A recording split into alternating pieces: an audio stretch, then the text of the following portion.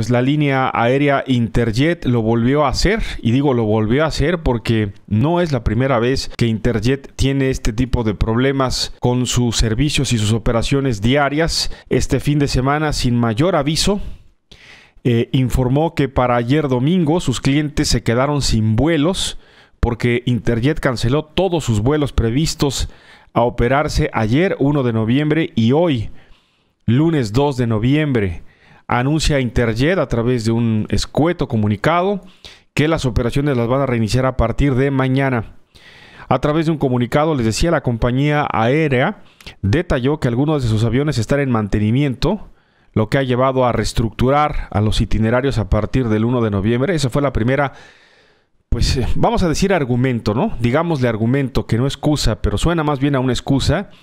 porque no puede ser sencillamente que una línea aérea eh, con todo lo, o con todo o el, con el boletaje que hayan vendido, salga que eh, con esto de que porque le dio mantenimiento a sus aviones no tiene para dar servicio.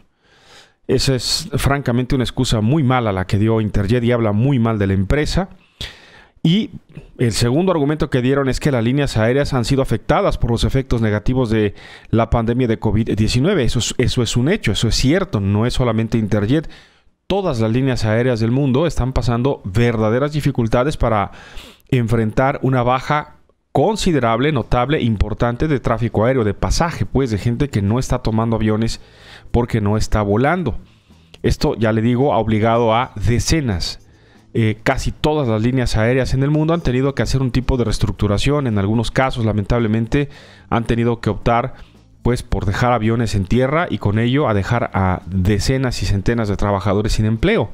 porque no hay sencillamente cómo pagarles. Bueno, pero ayer Interjet usa estas dos, eh, estos dos argumentos para decir que pues pararon operaciones ayer y hoy. Empleados de la aerolínea, sin embargo, informaron que Interjet no ha pagado la turbocina, el combustible, pues para que los, los aviones vuelen además de tener adeudos con los trabajadores y en los aeropuertos en los que opera. Es decir, eh, esta es la realidad de las cosas. Interjet viene arrastrando un problema histórico de problemas de liquidez, de falta de liquidez, de malos negocios que se han hecho en su manejo y que ahora tiene estas consecuencias. El pasado viernes, la sección 15 de la CTM, que es el sindicato que encabeza los intereses de los trabajadores frente a la línea aérea, convocaron a una protesta pacífica para mañana en las, instalaciones corporativas de Interjet en el aeropuerto de la Ciudad de México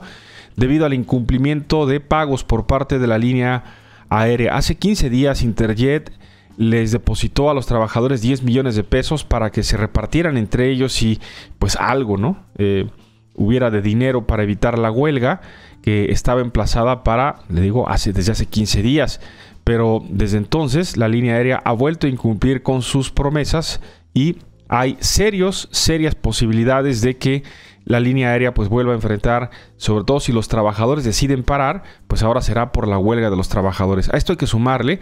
que también hace 15 días el Servicio de Administración Tributaria volvió a incautar algunos bienes de Interjet por impuestos que no se han pagado. Es finalmente un ejemplo más de, eh, pues todo parece indicar, una línea aérea que parece haber tomado la misma ruta de Mexicana de Aviación, malos manejos empresariales, un silencio por parte de las autoridades regulatorias, en, caso, en este caso de la Secretaría de Comunicaciones y Transportes y del propio gobierno federal, que simplemente han guardado silencio y los paganos, ya lo sabemos, somos los usuarios, los que a veces algunos con muchas dificultades han juntado dinero para pagar un boleto y ahora sencillamente la línea aérea con la mano en la cintura les cancela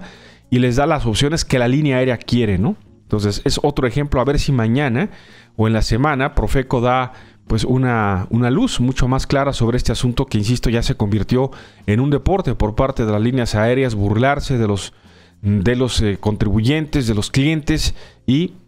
con la ventaja o con la seguridad y la certeza de que no les pasa absolutamente nada. Bueno, así está el asunto de Interjet.